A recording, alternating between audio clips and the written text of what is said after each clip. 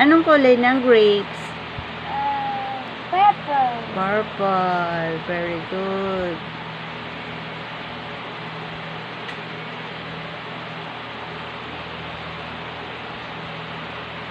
Purple or violet.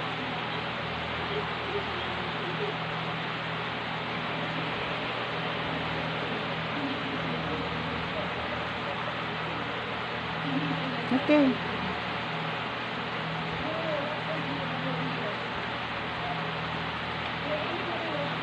Mayos ka na. Ha? Mm. Mm. Sure.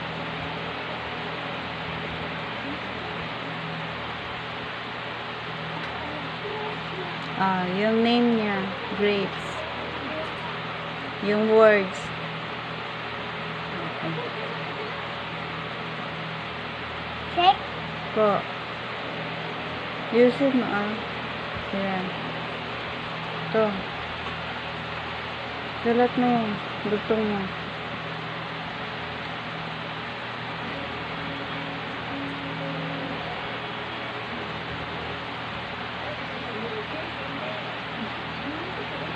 Siya na ito?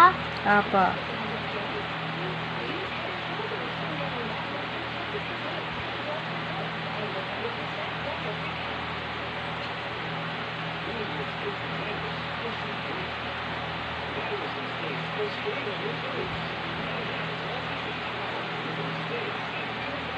Grapes.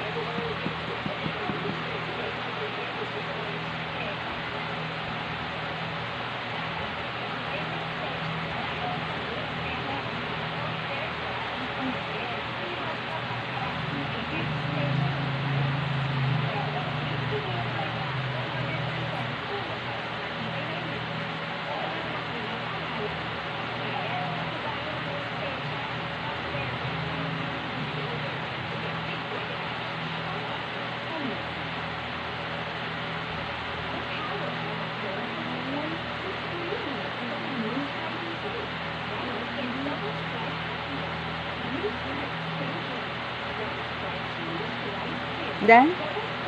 Okay.